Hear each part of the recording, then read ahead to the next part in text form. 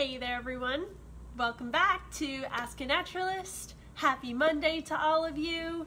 My name is Rebecca and I am an environmental educator at the Schuylkill Center and for the past few about a month now, maybe more, we've been doing Ask a Naturalist here live every Monday with different topics where you all can ask your questions in the comments and then come every week for about a half hour to learn some stuff about different things either happening at the Schuylkill Center or just different topics about nature. So I will be your host this evening as always and I am really excited about tonight's topic. It is something very near and dear to my heart personally, as well as near and dear to the hearts of everyone at the Schuylkill Center. We are going to talk and learn about Pine Grove, a beloved installment of the Schuylkill Center grounds, and we're going to learn about the star of Pine Grove, which is, of course, the pine tree. It is a special, amazing, big personality of a plant that we're going to talk all about. It's interesting enough to take up more than a half hour of time, but that's about all I have, so we'll, we'll stick to that. If you have any questions, comments about tonight's segment, please put them in the comments. I am answering questions and comments and reading through everything live while we do this discussion, and that's what makes the discussion super fun. So, any also any topics that you would like to suggest for future weeks please feel free to leave those in the comments as well and of course as always check out our website our facebook page our instagram for things happening in and about the Schuylkill Center area for the rest of the summer and for the foreseeable future. We have some amazing online programming going on. So let's talk a little bit about what Pine Grove is. If like I said in our post leading up to this event, if you have been to the Schuylkill Center recently, if you've been keeping up with our no- our news, you might know that Pine Grove, again a beloved area of the Schuylkill Center, was recently destroyed by a really wild storm about a month ago now. And the land and facilities crew is still working really hard to get it back in order because it is a place loved by campers and the public, children and adults alike. It's a place the staff is always a favorite of. So we're trying to get it back.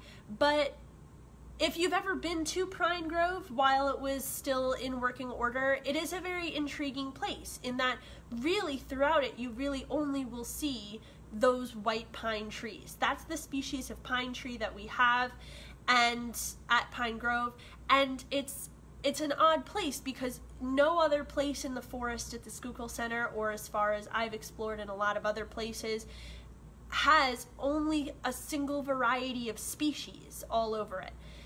Pine trees, when you see them, you tend to only see pine trees in an area, and there's very few plants that can coexist with it. So, a little bit about Pine Grove. The trees actually grow in rows on, in Pine Grove. And when you're walking around, you'll see those perfect rows placed. They're very even looking, they're very unnatural looking. And in fact, they are unnatural. Those trees did not just drop there in those perfect lines.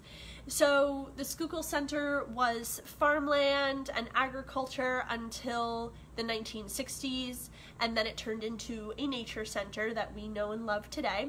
And in the 1970s, the there was a plot of land where a bunch of white pine trees were planted for tinder harvesting by staff and volunteers and that was the beginning the origin of pine grove. Now like i said they were planted in with intention to harvest because pine trees are excellent for furniture building they're common for christmas trees and they're common for home construction projects as well really strong tree that lends really well to being used as tinder and being harvested. It actually never came to fruition, that harvesting, that tinder collection, and today it exists as a beloved, beautiful place. Pine trees galore, easy to climb those trees. Kids and adults alike love to build forts. So you will go there on any given day, and the place both looks the same and at the same time somehow completely different. It's really, really beautiful, serene, in my opinion, magical, amazing environment and space. So, The pine tree, the eastern white pine, is a fascinating tree, fascinating species, and we're going to talk all about it today.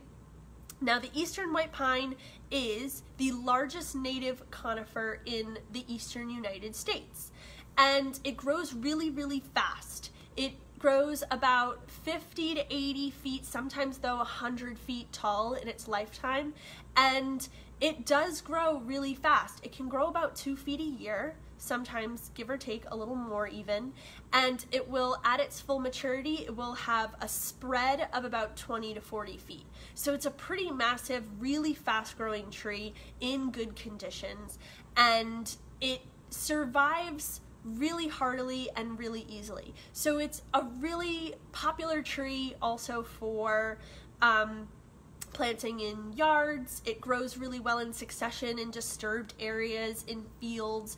So it is a great tree to have around. But other plants do have trouble growing under it. So when you're walking along a forest or in an area with white pine trees or really with any type of pine tree, you'll notice that there's not a lot of other plants growing underneath it. And this takes place for a few reasons. Um, mostly pine trees like to grow in acidic soil and a lot of other plants have trouble growing in similarly acidic soil. So pine trees are able to get rid of a ton of competition right off the bat just because of that. The other thing about pine trees is that they, because I talked about that spread that they have with their top branches 20 to 40 feet, that is massive amount of spread. And so the pine trees create a lot of shade and plants underneath them have a lot of trouble competing for sunlight. It's really shady in an area with a lot of pine trees. The other reason is that pine trees have these pine needles right here, which we will talk more about. But as the needles start to fall off, they will create, create a blanket on the bed floor, which is nice and soft if you're in an emergency and you need to find a place to rest for a little while, nice and soft for a lot of creatures and inhabitants, good cover. But it is really hard and suffocating for plants coming up out of the ground trying to survive and trying to get that sunlight.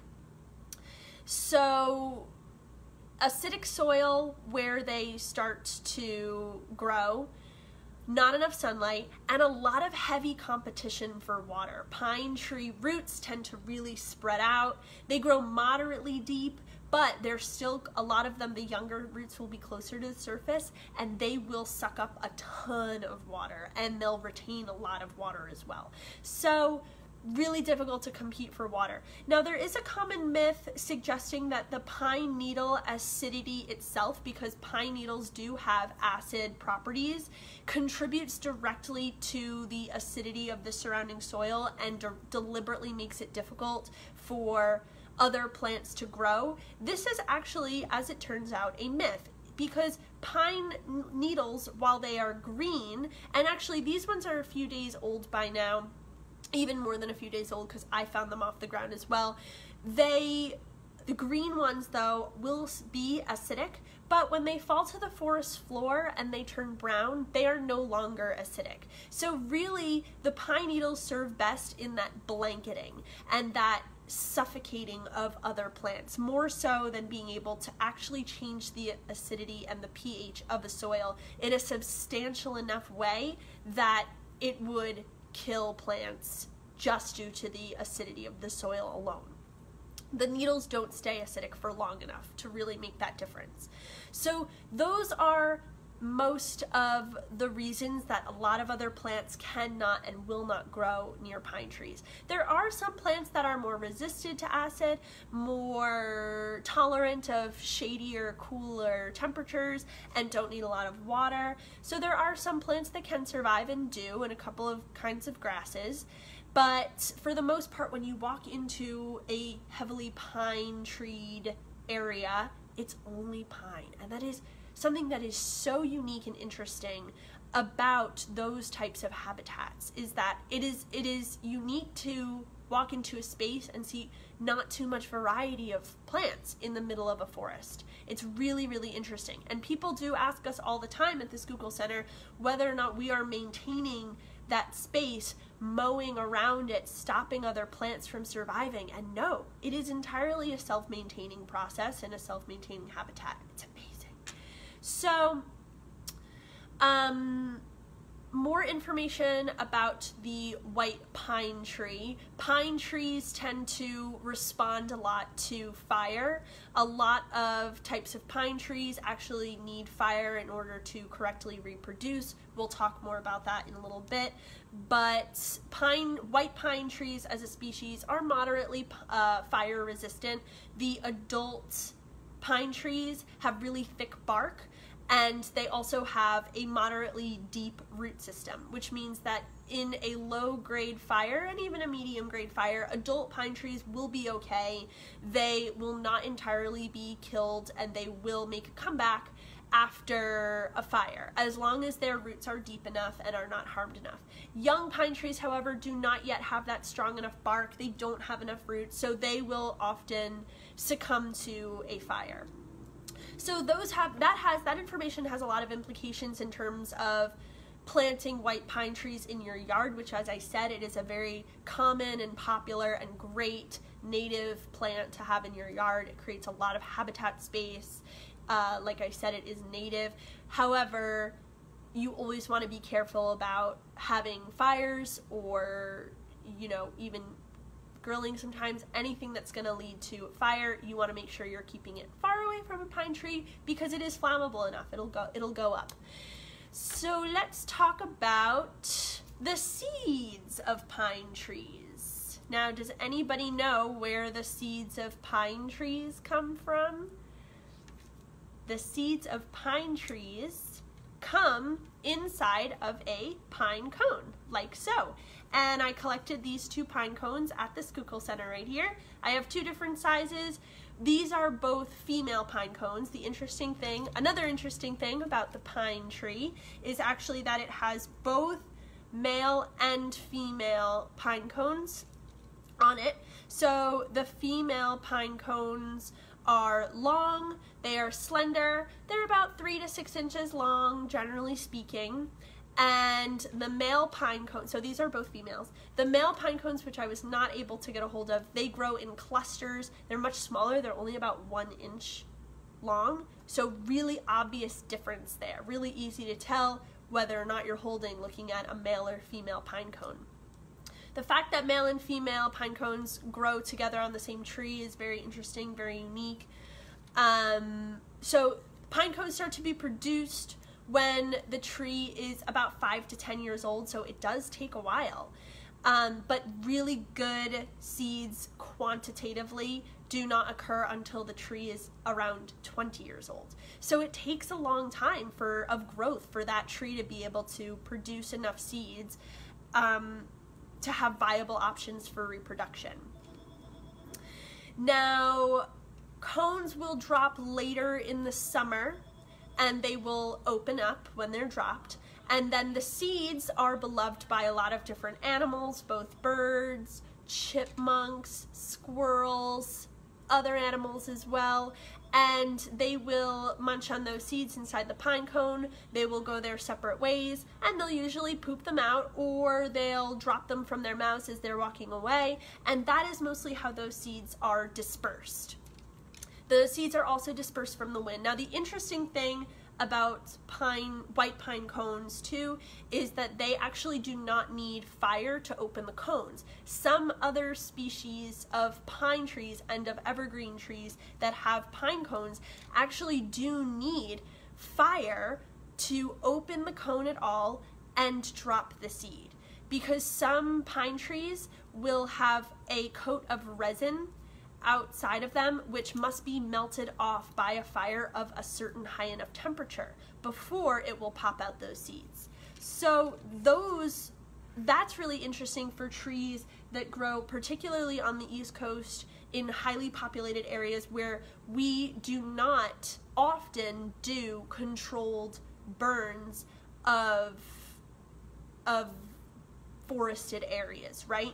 In a lot of places we now know that fires are in fact very healthy for forests and for habitats and ecosystems and there are controlled burns done. But in heavily populated areas that can be really hard to do because even a controlled fire can very quickly and easily become uncontrolled. And if it happens too close to a population of people that is a nightmare scenario, obviously. So we are seeing a decline in a lot of different types of pine trees across the United States where there are not enough uh, resources for and availability for controlled burns, unfortunately. Luckily, white pines do not fall into that category. So we are seeing an uptick in the amount of white pines we're seeing. They were over harvested for timber um, years and years ago and there have been different initiatives throughout the years to try and plant more and bring that population back.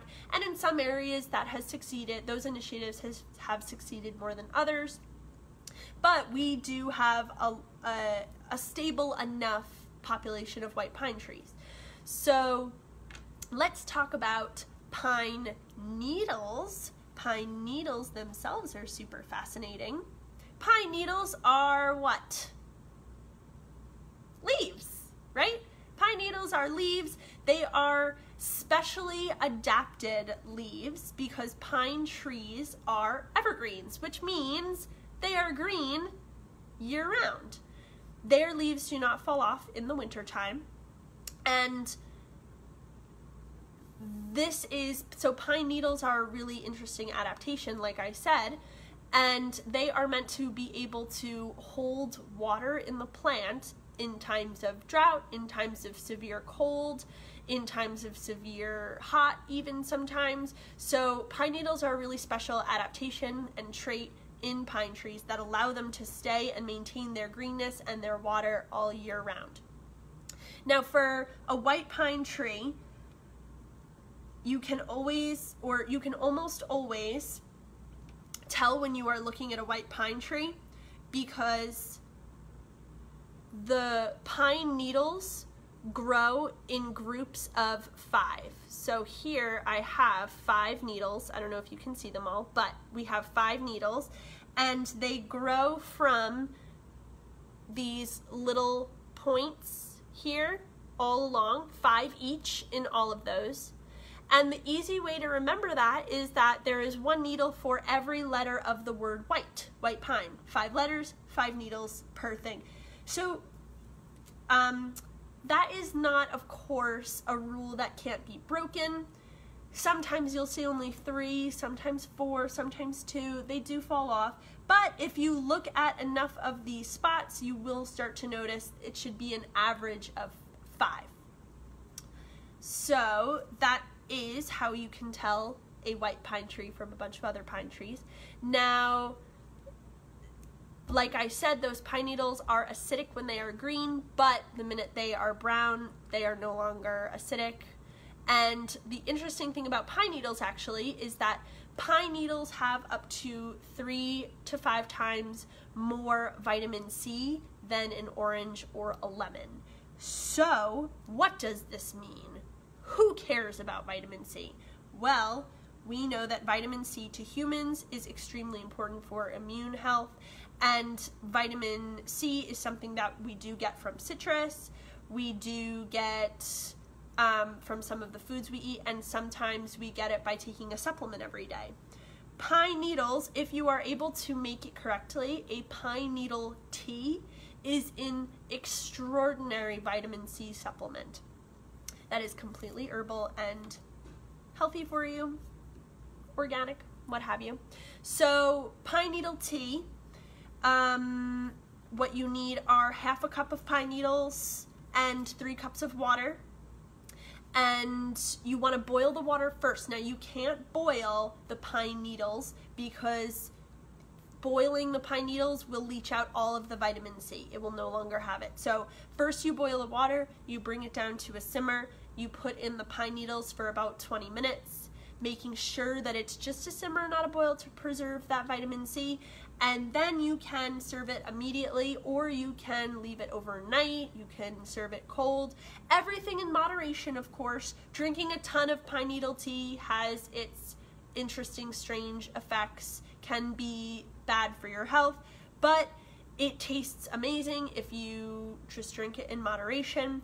And if you are able to get a hold of bright green brand new leaves, those are the best leaves for pine needle tea. They will be fragrant, they will be the most tasty and flavorful, and they won't be super earthy, piney, almost like turpentine, which you will get from older, darker green needles. You can also throw in a piece of bark into that simmering pine needle tea because the bark actually has even more vitamin C than the pine needles do.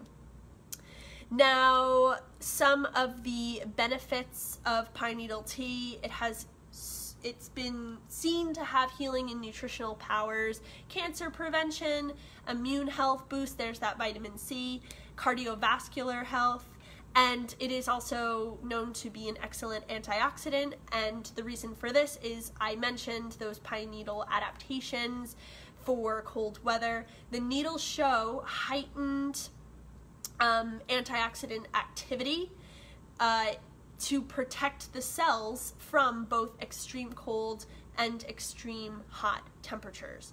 So, a lot of antioxidants packed into these tiny pine needles here. Those are really important. Now, yes, so I went over that recipe.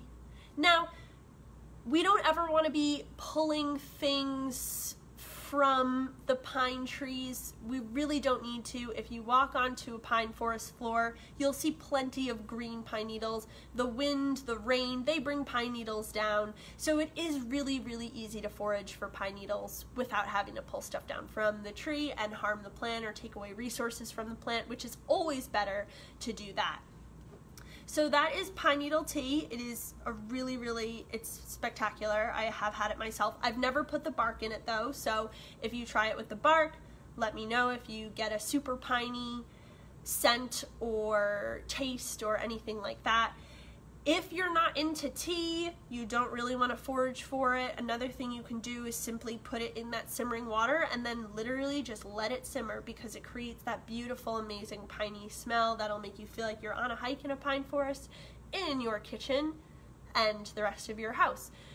Kyle asked, what's your favorite tea made from local foraging? This is an easy one. I love stinging nettle tea so much that I could drink it every day. Stinging nettle tea, briefly, uh, is a tea made from of course, stinging nettles, which uh, you can find quite easily around the Schuylkill Center. You don't want to touch them with your bare hands. They will sting. They cause an irritant on their leaves, but if you can pick them with a really strong pair of gardening or winter gloves and you take a giant handful of new leaves, you put it into water, you let it steep for about 15-20 minutes. Delectable, earthy, kind of sweet taste. It's amazing another tea that has a lot of immune boost, antioxidant, really, really super good for you. That is my favorite tea for sure. So, um, as I have been mentioning throughout this, there is a lot of wildlife that makes use from pine trees. And a lot of wildlife that I personally have seen at the Schuylkill Center. Now, here are some pictures I'm going to show you of specific animals that I have seen at Pine Grove at the Schuylkill Center. And then I'll talk about a couple animals I definitely have not seen, but that are known to inhabit, inhabit areas of a lot of pine. So this first one, what do we have here? That is an owl, of course. So owls inhabit those pine trees. Um, they will hunt for rodents on the ground, which also love those pine cones and those seeds and that tree cover.